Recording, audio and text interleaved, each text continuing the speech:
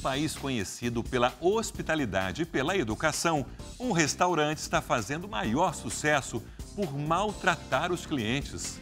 E a nossa equipe, claro, foi jantar nesse lugar, Sérgio. As pessoas são servidas por garçons mal-humorados e até grosseiros, que chegam a jogar os pratos na mesa. Mas o pior é que as pessoas ainda pagam por isso.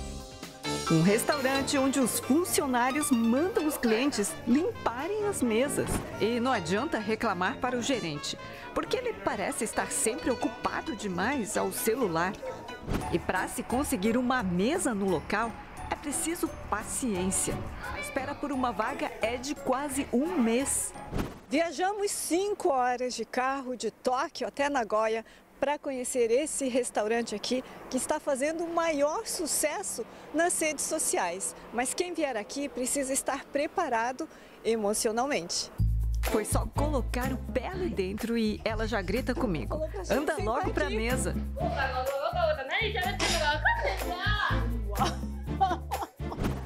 Na hora de anotar o pedido, a atendente parece mal-humorada. Reclama que pedi muito pouco e sai nervosa. Ela falou, só, só isso. Aqui, jogar as coisas de maneira grosseira é comum. Na mesa ao lado, os meninos jantavam tranquilamente, quando um deles é convocado a limpar a mesa de outro cliente. Pergunto se eles conseguem levar tudo na esportiva. Isso não faz parte da nossa cultura. Os japoneses são mais bonzinhos. O amigo dele brinca. Uma vez só basta, nunca mais. Não é todo dia que fazem a gente ir buscar a própria comida na cozinha do restaurante. Nem as crianças são poupadas. A menina é convocada para levar as batatas fritas para uma das Eu vi esse lugar na televisão e pedi para o meu pai me trazer aqui.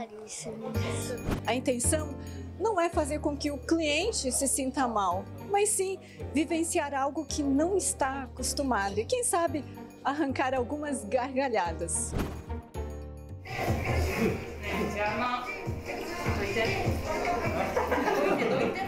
Mal dá tempo de saborear. Ela tirou a minha cadeira para atender o cliente ali. É, eu acho que eu quero ir embora para casa. Tudo bem. Mas a gente não pode sair sem pelo menos falar com o dono do restaurante, né? A cara de mal-humorado é só fachada. Ele fala que nunca imaginou aparecer numa TV do outro lado do mundo.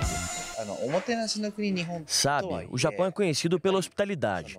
Qualquer restaurante que você vai te oferecem água de graça, cuidam da limpeza e zelam pelo bom atendimento. Para mostrar como essas coisas são importantes, só fazendo o inverso. Inaugurou o estabelecimento em julho do ano passado, Taiki Takehara diz que muita gente duvidou que daria certo. Mas a ideia pegou, principalmente entre os mais jovens. E de repente, o restaurante com funcionários para lá de folgados e preguiçosos começou a encher. E lógico, é divertido porque a própria clientela entra na brincadeira. Ir para algum lugar para ser maltratado pode parecer estranho, mas aqui é a diversão que vale. E para aguentar uma experiência dessas, só com muita gargalhada mesmo. Ainda que tímida, bem ao estilo japonês.